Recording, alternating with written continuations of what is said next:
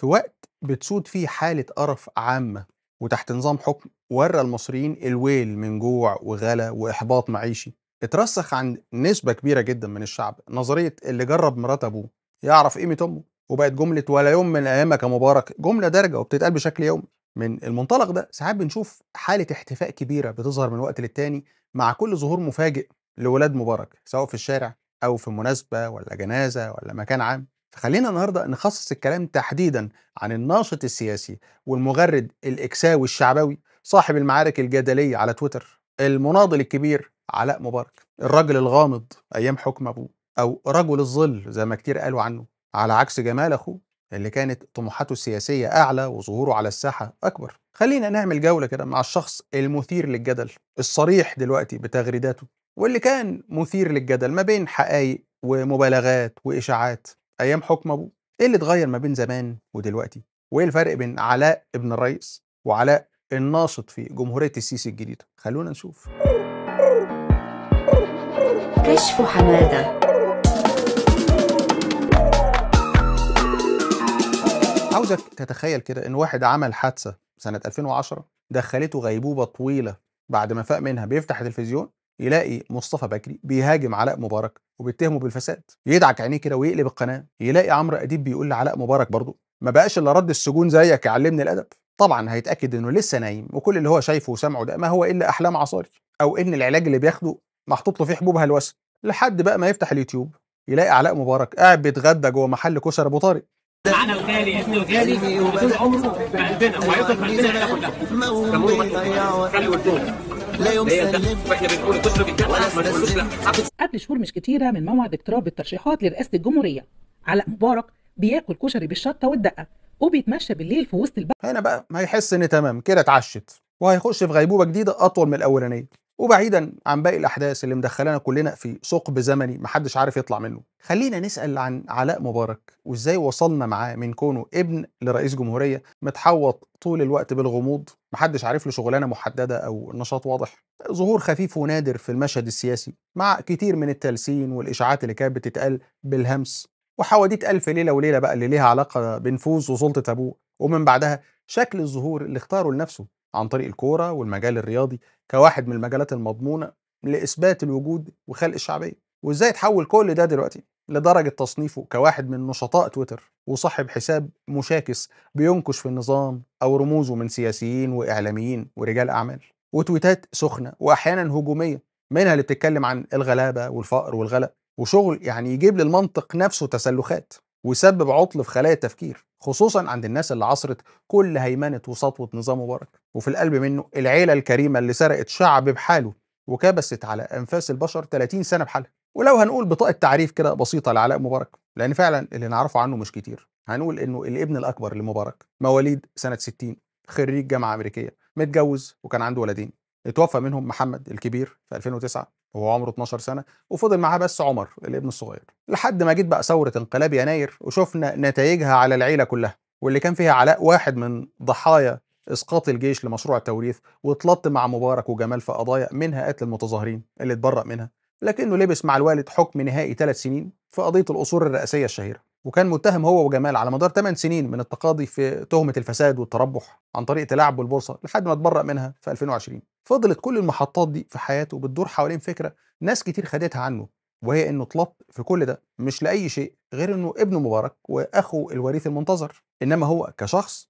ملوش طموحات سياسية واضحة ولا بيسعى إنه يكون له دور في الحكم والحقيقة ده مش مظبوط أو مش دقيق قوي يعني. ونقدر بشوية ملاحظات بسيطة سواء في عز وجود أبوه في السلطة أو اداؤه على تويتر وشكل خطابه السياسي وطريقة عرضه لآرائه نقدر نكتشف إننا قدام واحد فكرة السياسة والحكم ما كانتش غايبة عن تفكيره أو يمكن اللي عطلها أو شد لها فرامل وقتها هو إن العيلة وقع اختيارها على الابن الأصغر وإن الطريق لكرسي وراثة التكية مبارك والحزب الوطني ركزوا فيه على جمال بشكل أكبر. ولو بصينا لعلاء مبارك المواطن بقى في مرحلة ما بعد السيسي وبعد ما بقى له حساب على إكس هتلاقي الموضوع اختلف. أو بمعنى أصح طريقة تفكيره اللي كانت مستخبية بدأت تظهر في العلن أكتر وأصبح الشخص اللي مختفي دلوقتي عن الأنظار نسبيا هو جمال مبارك نفسه مش علاء أما علاء فبنلاقيه مرة مصلح ديني أو اجتماعي أو ناشط سياسي واحيانا معارض على خفيف كده وساعات مواطن من عامة الشعب بيدلي بجردله في أي موضوع أو ترند مسبب جدل. تويتات كتير على قد ما دخلته في معارك قضائية على قد ما كشفت إننا قصاد شخص عارف إزاي يغازل الجمهور.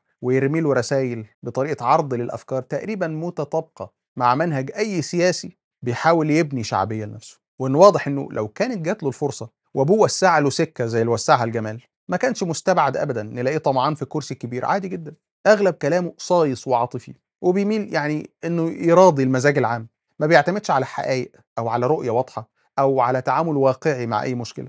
ولو بدأنا نضرب أمثلة نخش بيها جوه عقل علاء مبارك من خلال تويتاته خلينا نبدأ من الآخر. وخناقته الطازة مع القيادي في حركة حماس موسى أبو مرزوق اللي انتقد دور القيادة المصرية ومواقفها الضعيفة قصاد المجازر الإسرائيلية والعدوان الصهيوني على قطاع غزة واتكلم عن اتفاقية كامب ديفيد ونتائجها اللي كان على راسها تخلي مصر عن مسؤوليتها عن غزة وخلت محور فيلادلفيا نقطة فصلت مصر عن فلسطين وشكلت حصار وعبء إضافي على أهل غزة. هنا بقى ظهر الوش الدولجي لعلاء مبارك. وقرر يرد على الراجل ده بتويتة بتلخص كل اللي هضمه وكل اللي اتربى وعاش عليه سواء في القصر الرئاسي أو جوه دهاليز الحكم والسياسة. تويتة يعني الحقيقة هي كوكتيل من الكذب والتدليس على الشوفينية والعنطزة بالإضافة لحالة من التعريص اللا إرادي للجيش اللي متمكن تماما من نفوس الناس دي حتى وهو عارف أكتر من أي حد إن الجيش ده هو اللي انقلب على أبوه أساسا وحبسهم كلهم وهو اللي ساوم العيلة بحالها عشان تخرج من المشهد السياسي بلا رجعة. علاء قرر يرد الأول بالكليشيه المحفوظ والخطاب العاطفي اللي النظام عموما متعود يخاطب به الشعب. ومصر ما بخلتش ابدا بالدعم والمساندة لفلسطين وما ادخرتش جهد ولا اهتمام وباقي الرصه بتاعت القضية والحق الفلسطيني وكل الهري اللي بيهروه ده. بس بعد كده دخل على الكذب والتدليس المعتاد واختزل عدم حضور الفلسطينيين للمعاهدة بأن هم اللي رفضوا يروحوا يتفاوضوا. وإن لو كنتوا جيتوا كان هيبقى الوضع أفضل.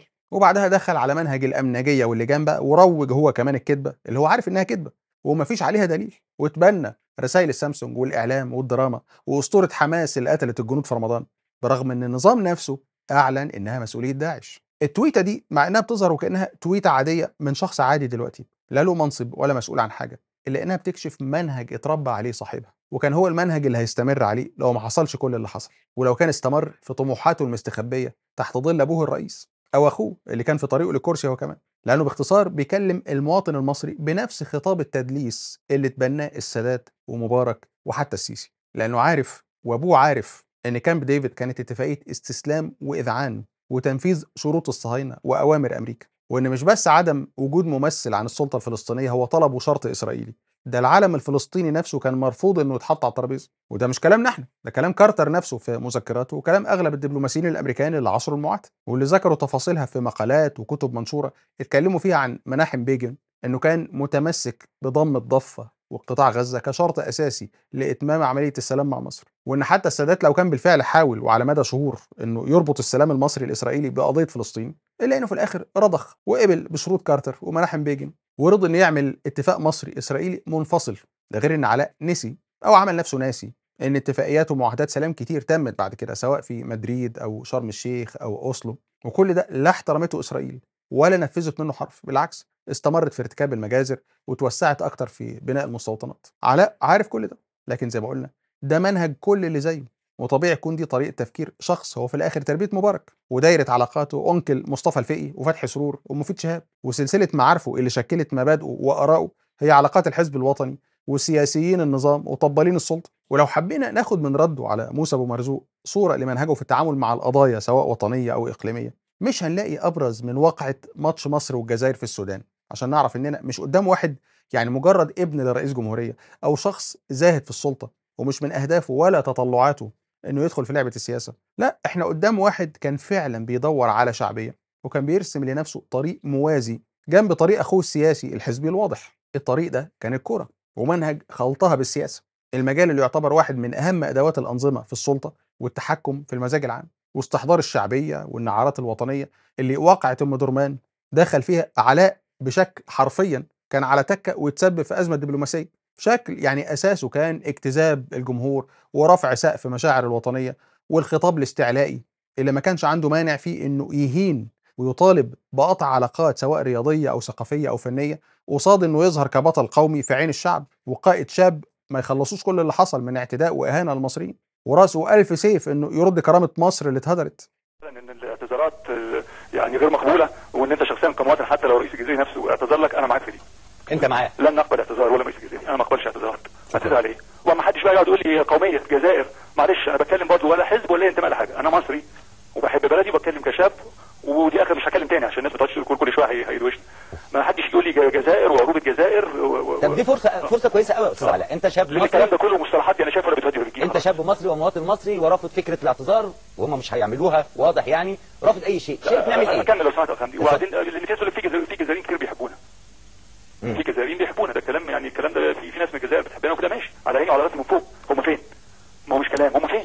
مم. ولا إحنا كلام قاعدين كده آه إحنا بنحبكم وبنقعد نشرب قهوه وشاي إحنا فين؟ صحيح طب بيحبونا اتحركوا اتكلموا روحوا قولوا في الجزائر اللي حصل لاخواننا المصريين دول ده غلط وعيب وإحنا اخطانا مم. الله مش ولا بس في مجموعه كتاب وفي ناس بيحبوا المصريين هو كلام هنقعد نتكلم فين اللي بيحبني فين؟ الله انت تيجي تضربني وتاني وبعدين تيجي تقول لي آه بس إحنا في ولو ما مجموعة كانش دلوقتي بالذات هيتكلم إمتى؟ اطلع اعتذر ولا مسؤول ولا حد بتقول طب غير غير المسؤولين وغير إحنا عارفين النظام هناك والزاويه وده. فين الناس؟ فين الناس اللي بيحبونا دول؟ اصل كده حد مداخلات امبارح بس مش حدث ده, ده ما تقولش بقى يقول لك بقى لا ما تقعدش تاخد بعض القرارات وبعض بعض بعض الستبس بقى نوريهم إن العملية مش كده.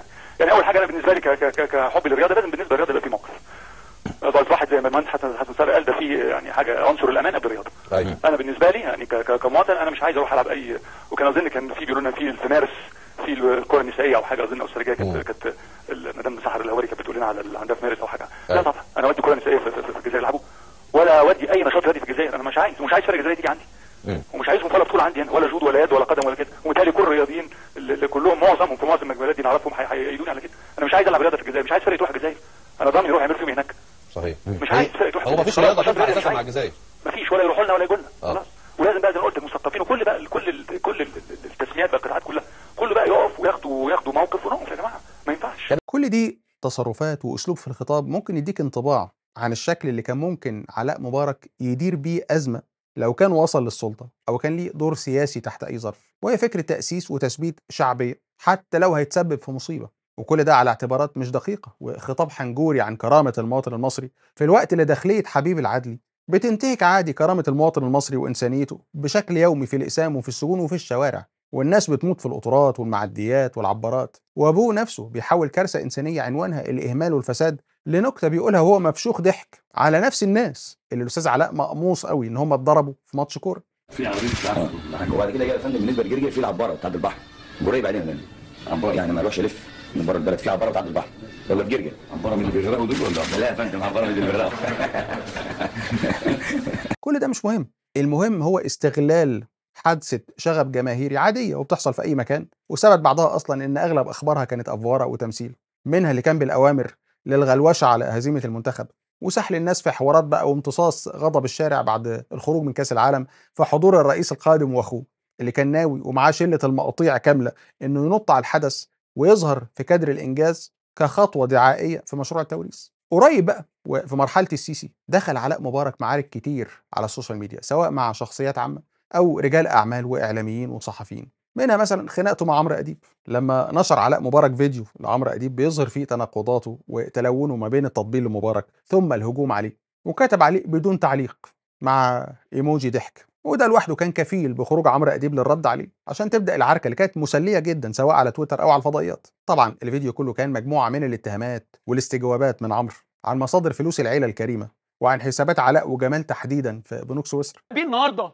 قرر لأنه طبعا يا عيني برضه جرت له لوسه المصريين برضه عندهم حاجة غريبة. إن علاء بيه كل ما يكتب يقولوا أيوه يا باشا. باشا مين؟ أيوه قول يا عظيم. عظيم مين؟ هو الراجل ده مش أنتوا اللي نزلتوا شلتوه أنتوا ناسين الراجل ده عمل إيه هو وعيلته؟ هو علاء بيه نسي. وعلى فكرة علاء بيه أنت اللي فتحت بقى الموضوع. أنا لما بقى عمري ما بقابل حد كده شخصي يعني عمري ما بعمل موضوع شخصي. إنما أنت اللي قررت إذا كنتوا نسيتوا اللي جرى هاتوا الدفاتر تنقرا لا هكلمك لا على ال 70 مليار ولا ال 80 مليار اللي هو البراءة بتاعتك إنما مش على آخر الزمن واحد رد سجون هيعلمنا الأدب. لكن كل ده ما فرقش مع علاء ولا رد غير على حاجة واحدة هي اللي ليها علاقة بنمط تفكيره وطريقة نظرته لنفسه وبرستيجه اللي حوار الفلوس والفساد المالي ده هو آخر حاجة ممكن تزعجه أو تحسسه بأي إهانة. هو استعبط كالعادة عشان ما يدخلش في جدل الفلوس. ورد بس على نقطة رد السجون اللي هيعلمني الأدب دي وكتب له إن رد السجون هيعلمك معنى الرجولة. خناقة تانية مزدوجة دخلها علاء مع حسن هيكل رجل الأعمال وابن الكاتب الصحفي محمد حسنين هيكل. بعد ما اتهم أسرة مبارك بالفساد وتضخم الثروات اللي هربوها بره البلد فاتهموا علاء إنه متورط في قضايا مال عام وده سبب هروبه للخارج أساسا ودخل على الخط طبال كل العصور مصطفى بكري. بس المرة دي في ثوب المناضل اللي داخل يكشف فساد مبارك وعياله وخبط في جمال مبارك وقال إنه حصل على 75 طن ذهب من البنك المركزي. وبرضه علاء رد عليه ردود ما بين التريقة والتهزيء واتهامات الكذب والفبركة.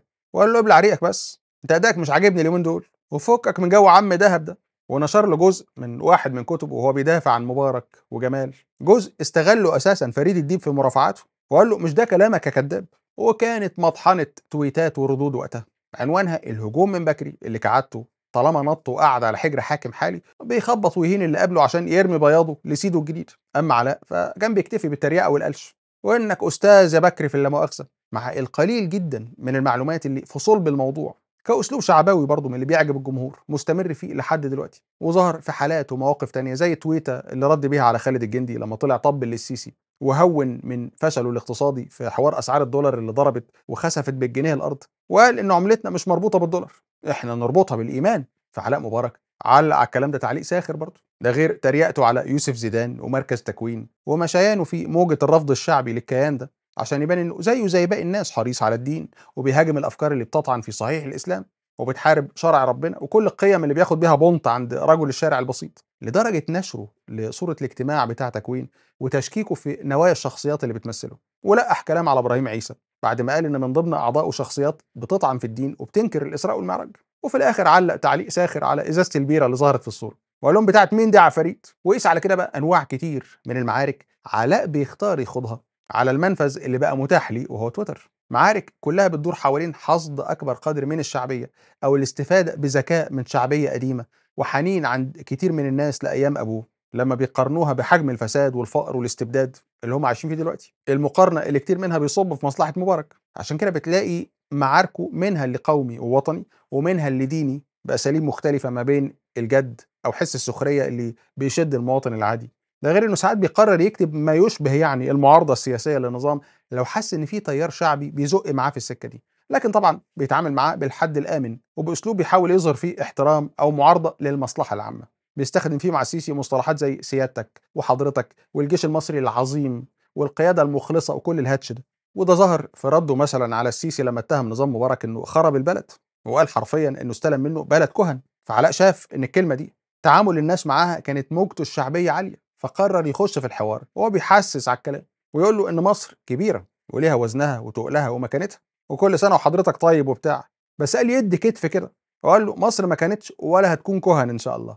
والحقيقة إن علاء مبارك عارف كويس جدا إن حضوره على مواقع التواصل واختباره للتفاعل الكبير على منشوراته هو فعلا بيمثل النظام قلق. علاء مبارك بيلعب على وتر القرف وحالة الرفض المجتمعي لكل ممارسات نظام السيسي والانهيار التام للشعبية والقبول. بعد كل الكم ده من الانحطاط والانهيار الاقتصادي وحالة الإحباط والاكتئاب العامة اللي بينتج عنها تلقائيا عند قطاع كبير من الشعب حالة حنين للراجل اللي كان بينبش القبور ويقول ولا يوم من أيام لأنه كان بينبش القبور بس إنما السيسي منه لله بعد ما بينبش القبور بيمثل بالجثث. عشان كده بتعتبر منصة علاء مبارك هي امتداد لمنصات تانية سواء مؤيدة بجد لحسني مبارك أو حتى ساخرة وبتشتغل بس مكايده في نظام السيسي. النوعين دول شغالين طول الوقت على الترحم على أيام الفساد المباركي الوسطي المعتدل. نشاط علاء مبارك بخطابه العاطفي واستمالته لمواطن هو ما كانش شايفه ولا معبره ولا كان على أولوياته وهو بيسرقه مع عيلته.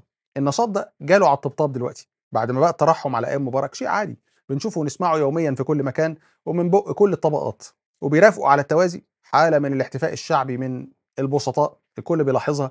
لما بيتصادف وجوده سواء هو أو جمال في أي مناسبة. وأخيرا علاء مبارك طلع ولا نزل كتب تويتات هاجم شخصيات أو ممارسات أو قرارات. هو اولا وأخيرا ابن مرحلة أبوه وتربية مدرسة كل ديكتاتور وفاسد. ومهما هيكتب ويعمل مناضل ويدخل معارك تكسير عظام على ال social media مش هتتغير حقيقة إن جوفه اتملى من الحرام وإنه عايش هو والعيلة من مال الناس اللي اتنهب وعرق الغلابة ودمهم اللي ممصوص 30 سنة. هي في الآخر خناقات بين أفراد عصابة واحدة كبيرة. كل اللي اختلف فيها بس هو اختلاف الأسماء اللي في الحكم وشكل النفوذ وحجم السلطة والسيطرة والأدوار اللي اتبدلت. والخلاصة إن شعبية علاء مبارك ومتابعة الناس ليه وحتى موافقتهم على كل اللي بيقوله مش هيغيروا من حقيقة إنه فاسد بس شيك. مجرم بس صوته هادي. حرامي بس مؤدب. وإنه مهما هاجم وأدان النظام الحالي فهو عنده حق. لكن ده مش معناه إنه شريف وبريء أو إنه أقل منه في السرقة والفساد. ونشوفكم على خير إن شاء الله.